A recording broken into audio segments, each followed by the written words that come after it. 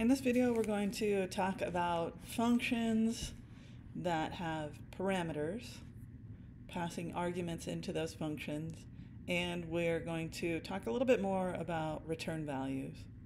So let's create a function that is going to calculate the hypotenuse of a right triangle. So I'll just call this calculate hypotenuse.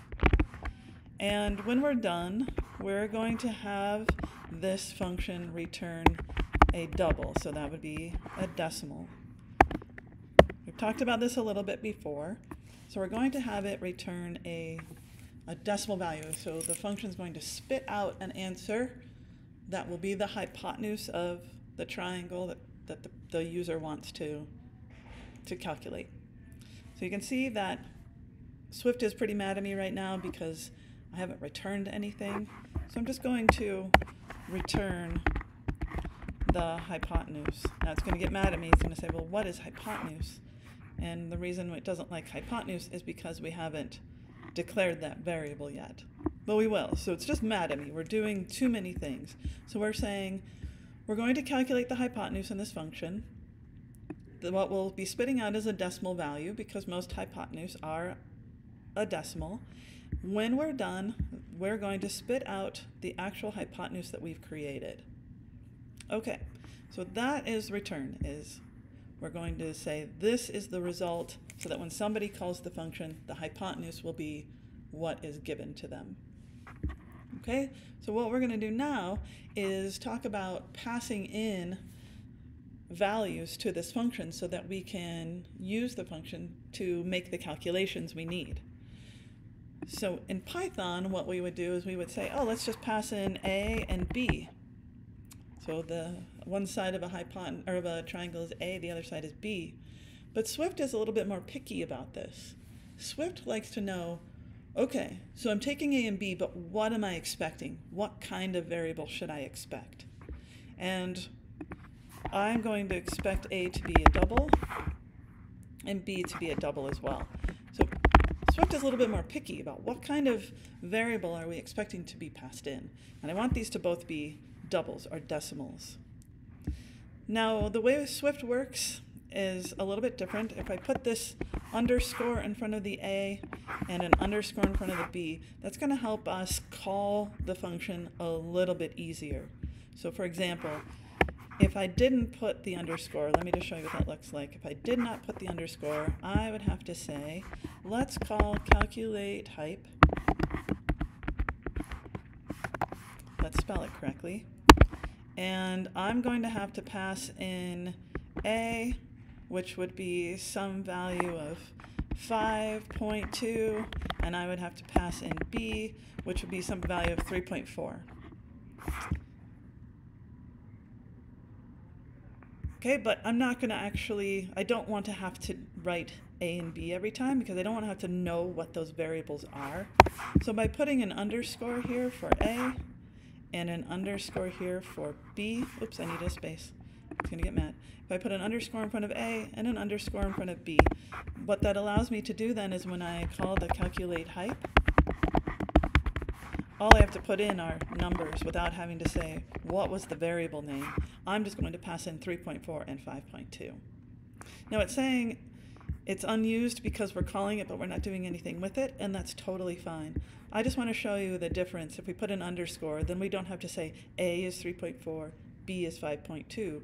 With the underscore I can just say pass in 3.4, we'll automatically assign it to A, pass in 5.2. Okay, we'll come back to this in a minute. Let's do some calculations. Let's find the hypotenuse. So let's first do some squaring of these. So we're going to say let um, squared equal, and we're going to take the power of a, and it will be to the power of 2. So that's a squared plus, we're going to take the power, and that'll be b squared. In order to find exponents like this, a and B must be doubles. That's a requirement of Swift. Okay, now I'm just going to find the hypotenuse. So I'm going to say let hypotenuse equal the square root of squared. Everything should be happy now. Let's let it. No anger now. Okay, finally, you've defined a function with everything I need. We're going to pass in an a value, we're going to pass in a b value, we'll square those and add them, take the square root, and then spit out the hypotenuse. So if I print the result of calculating the hypotenuse with the passing in 3 and 4 as a and b. Okay, let's try that. Let's see what happens. We should get 5. Now we have to take a moment for it to build because 3 squared plus 4 squared is 25. The square root of that is 5. Beautiful. I can even say the oops, hypotenuse is, take this away, I'm going to say, let's put this in parentheses because it's a variable, and we'll close that and close the quotation marks.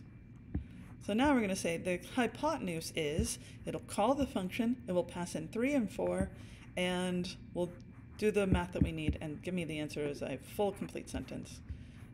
As soon as that goes away, the hypotenuse is 5.0. Great. So now let's do something else we can, we can try with this. We can do some if statements as well. We can do some conditionals. If calculate hypotenuse, where we pass in 1.2 and 2.3, is equal to, let's say, greater than or equal to 5.0, we'll print that's bigger than 5. And if it's not bigger than 5, we'll print that's not bigger than 5. Did I type something wrong up there? Um,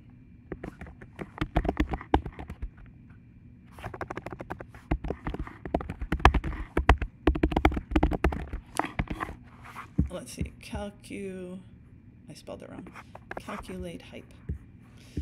So we can also call that function, we can call this calculate hype function in a conditional. So we're going to say, all right, let's go calculate the hypotenuse with these two numbers, and whatever is spit out is the hypotenuse. So if that's whatever was spit out, so if the hypotenuse is greater than 5, we say so. So let's try. So the first one will still be there, be 5.0, and then that's not bigger than 5. So the square root of 1.2 squared plus 2.3 squared is not greater than 5. Awesome. There we go.